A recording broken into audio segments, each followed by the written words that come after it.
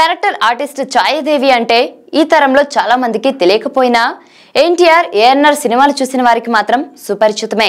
గయ్యాళి పాత్రలో సూర్యకాంతం తర్వాత చెప్పుకోదగిన నటి అంటే ఛాయాదేవి మరి. అత్యాశకు పోయి భంగపడిన పాత్రలను ఆమె అవలీలగా పోషించేవారు. అత్త సవిత తల్లి వంటి పాత్రలో హీరో లేదా హీరోయిన్ను కష్టపెట్టే పాత్రలని ఆమె ఎక్కువగా పోషించారు. ఇద్దరు ఆడవాళ్ళు గొడవ పడుతుంటే కూడా హాస్యం పండించాలంటే ఆ విషయంలో ఛాయదేవి పెట్టింది పేరు. స్థాయికి తగిన పాత్రలనే ఎంచుకొని వాటిలోనే ప్రేక్షకులను మెప్పించిన క్యారెక్టర్ ఆర్టిస్ట్ ఆమె. గయ్యాళిగా ఆమె పాత్ర కేవలం తెరవరకే పరిమితం. తెర వెనక ఆమెది వెన్నలాంటి మనసు. చూడడానికి భయం పుట్టించే పాత్రలో నటించే ఛాయాదేవి నిజ జీవితంలో ఎంతో మంచిదని ఆమెతో పాటు సినీ రంగ ప్రయాణం చేసిన వారు ఆమెను దగ్గర నుంచి చూసిన వారు ఎన్నో సందర్భాల్లో చెప్పేవారు. నటిగా తన పని తాను చేసుకుపోయే ఛాయాదేవి సెట్లో మాత్రం ఎప్పుడు సందడిగా నవ్వుతూ నవ్విస్తూ ఉండేదట. తన పాత్రలకు భిన్నంగా ఆమెను సెట్లో చూసిన కొత్తవారు నోరెళ్ళబెట్టేవారట కొత్త పాత లేకుండా సరదాగా కబుర్లు చెప్పేవారట ఛాయాదేవి. ఛాయాదేవి వ్యక్తిగత జీవితంలో ఆటుపుట్లు చాలానే ఉన్నాయి.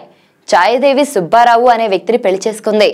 అయితే ఆయన పెద్ద దిక్కు మాత్రమేనని ఛాయాదేవి బాగోగులు చూసుకునేవారని భర్త కాదని కూడా చెప్పుకునేవారు. ఆమెకు పిల్లలు కూడా లేరు. ఎవరినో పెంచుకొని పెళ్ళి చేసి పంపించేశారట. ఆకలి అనే వారికి కడుపు నిండా భోజనం పెట్టే మంచి మనసున్న మనిషి ఛాయాదేవి. ఎవరు తన ఇంటికి వచ్చినా భోజనం చేసి వెళ్ళమని చెప్పేవారట. ఆకలి అంటే తన ఇంట్లో ఏముంటే అది పెట్టేవారట. నటిగా చాలా సినిమాల్లో నటించగా వచ్చిన డబ్బుతో మద్రాసులో పెద్ద ఇల్లు కొనుక్కున్నారు. సుబ్బారావు తర్వాత ఆమె ఒంటరిగానే ఉండేవారు. ఎవరైనా కష్టంలో ఉంటే ఛాయాదేవి వారిని డబ్బులిచ్చి ఆదుకునేవారు. ఆ మంచితనమే ఆమెకు చివరి రోజుల్లో శాపమైంది. చాలామంది నిర్మాతలు ఆమె మంచితనం గమనించి ఫైనాన్స్ రూపంలో డబ్బు తీసుకొని తర్వాత ముఖం చాటేశారట. ఎంతో నమ్మకంగా తిరిగి ఇచ్చేస్తామని చెప్పి ఎగ్గొట్టినా సరే ఆమె ఏనాడు వారిని తిరిగి అడిగే ప్రయత్నం చేయలేదట. అవగాహన లేకపోవడం కొంత మొండితనంతో మరికొంత షుగర్ వ్యాధిని ఛాయాదేవి లెక్క చేయలేదు. అది కాస్త ముదిరిపోవడంతో వైద్యులు మొదట ఆమె కాలి బొటిరివేలు తొలగించారు.